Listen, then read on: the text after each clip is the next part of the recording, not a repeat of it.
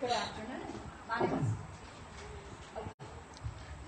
You're stealing Scott's thunder. Okay, I'm sorry, you were just telling me, okay, sorry, sorry. Take two. That's why you can edit these things. Go. I met our next author this morning. I've known her son, Mark, for some time now. He's quite the guy. And I would imagine his mother, his mother is just the same way. It's a good thing I don't know her any better than I do because I'd probably spend the 15 minutes talking about her and take up her entire slot. So I'd like to introduce Linda Wallace Maguire. Thank you so much. It's a pleasure to be here this afternoon. Um, Mark really is the one responsible for um, me writing. Um, when I retired uh, from teaching in the middle school over 25 for 25 years plus, um, he said, um, "Mom, you need to write a book." I said, "Well, I've always wanted to do that." He said, "No, I'm serious. You really need to write a book." And I said, Well, I've kind of got an idea because I had some experiences that were kind of, okay, I'll consider it. Well, it took me five years, and I wrote my first novel called The Principal. And it is a story, it is a murder mystery about uh, a principal who is not well liked, and um, no one on the faculty liked her. And she's found dead in her office on a Monday morning and they're trying to find out who killed her. And she has an interesting book. She has a very southern name. Her name is Dorothy Bell Butts, B-U-T-T-S, and they call her DB. And you journey through the middle school. There's characters and adventures and a surprise ending. And it was a book for me to write for therapy after teaching in middle school as long as I did. Um, and it was my first book. Mark told me, he said, Well, I think turnabout's fair play. I said, Now, what do you mean by that, son? He said, Well, you got me writing when we moved to Lexington, South Carolina, where I live. Um, Mark, I encouraged Mark to get on the yearbook staff. He fought it tooth and nail.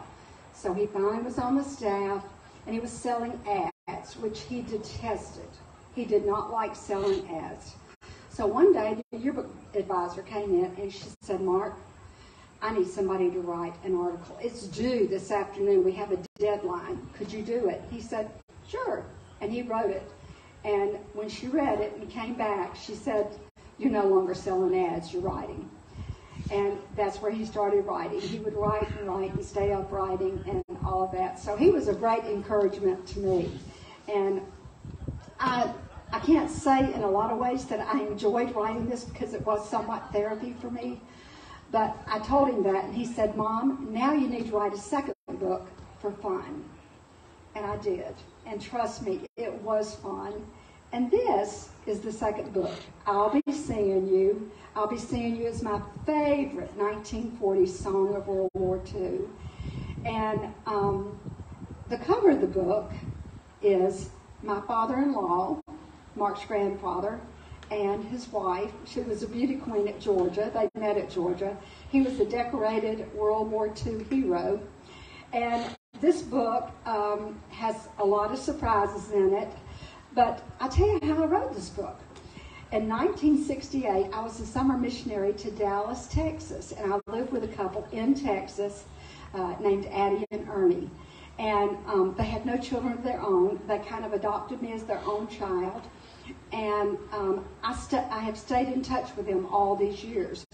Ernie died in 2007, and I went back to Texas in 2007 and promised Mama Addie I would come see her every summer and I would call her every Monday night, which I did. I kept my promise until she died in 2016. A lot of this is her story. I would go visit, I'd take my computer. She'd tell me stories about her and Ernie and the war, and I would type, and I would type. And it all came together and gelled. And this is a love story with fun surprises.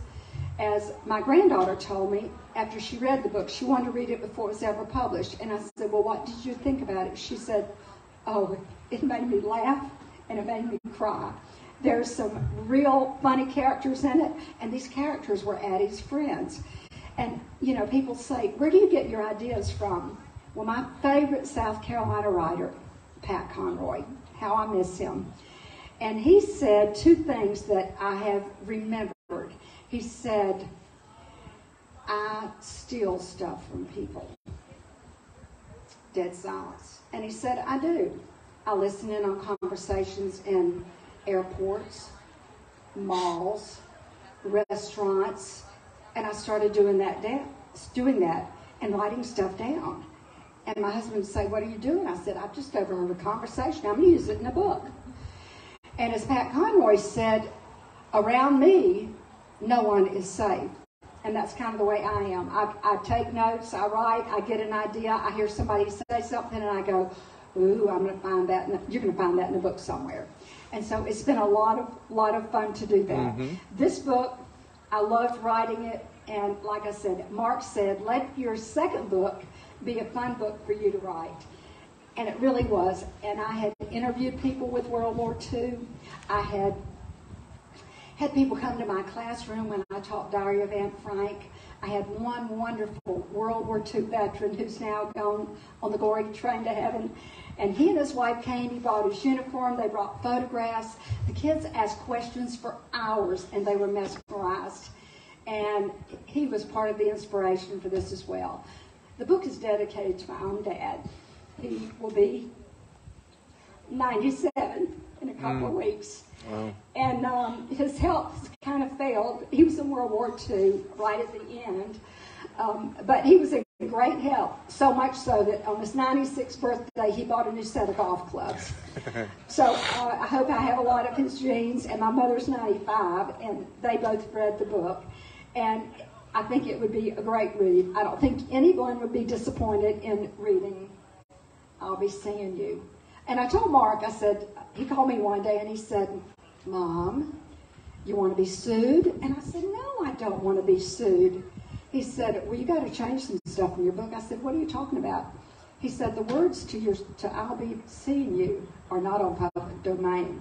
And I shrieked.